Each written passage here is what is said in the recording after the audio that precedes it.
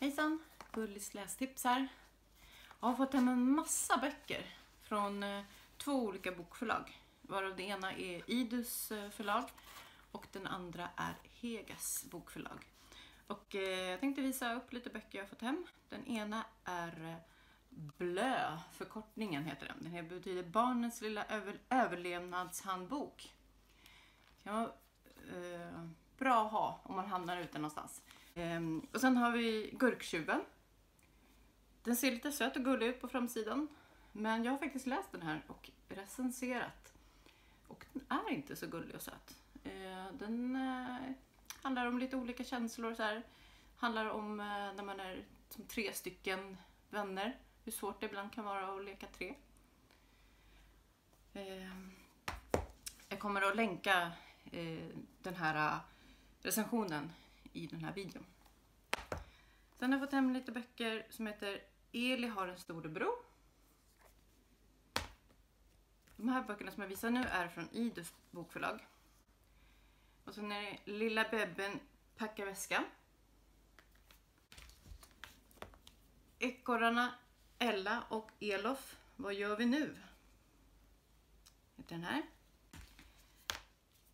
Vincent, Ebba och Ebba från Anka till Ödla. Jag tror att det här är en bokstavsbok faktiskt. Och sen har vi Lovise, Ansjovis och jorden. Bokförlag.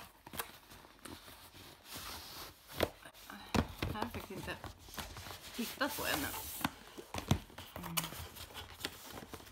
Ska vi se.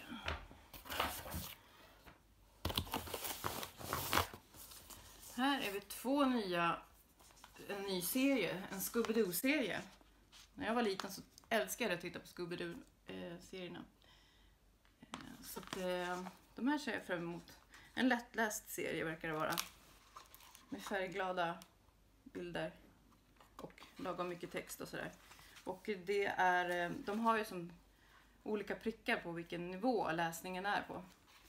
Och den här nivån är på Heges nivå 2 för dig som vill ha ett enkelt och konkret språk som är lätt att avkoda. Sen har vi en fristående del utav deras eh, lilla skräckbibliotek. Jag har redan recenserat två tidigare av de här bokserien. Eh, jag valde den här boken för att den heter Snövit och de sju trollen. Och jag håller ju på med att eh, recensera olika böcker med natur och sagoväsen. Så då tyckte jag den här boken skulle passa in. Zombieworld heter serien. Du är smittad.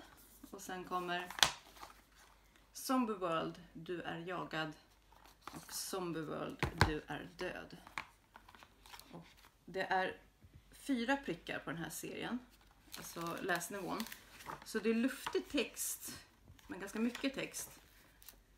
Och det betyder att det är en nivå på, nu ska vi se. Nivå 4 betyder för dig som vill lära dig några små svåra ord och ett språk som ställer lite högre krav på ordförrådet och grammatiken. Och i den här boken tror jag, om jag inte är helt ute och cyklar, lite lätt svartvita små illustrationer som hjälper till. Eh,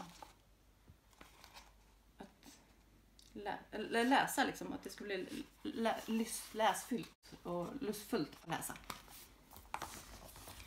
Det var Zombie World. Och sen har vi en trilogi som heter Häxboken. Så här ser den ut. Häxboken. Eh, den första delen heter Häxboken, den andra heter Den svarta häxan och den tredje heter Den nya häxan. Och den här serien vet jag var väldigt populär när jag jobbade på skolbibliotek. Så därför tänkte jag att det kan vara bra för mig att veta exakt vad den heter. Och den jobbar lite så som att det är lite text, vanlig text här. Och sen är det som seriebubblor kan man säga. Med, med lite serier med, med text i. Så att den blir väldigt lustfylld att läsa.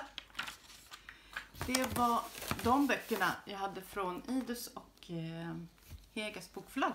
Så snart kommer det flera olika bokrecensioner ut utifrån dem. Så nu så finns det två av bokrecensionerna till de här böckerna eh, som jag kommer länka. Men så finns det en som eh, jag har gjort en liknande recension på den, en av de tidigare böckerna som jag kommer också länka i den här videon. Och eh, jag vill tacka både Idus bokförlag och Hegas bokförlag för alla fina böcker som jag har fått tagit del utav. Och glöm inte att följa mig på mina sociala forum på Facebook, Twitter, Instagram och min hemsida Gullis lästips. Ha det bra!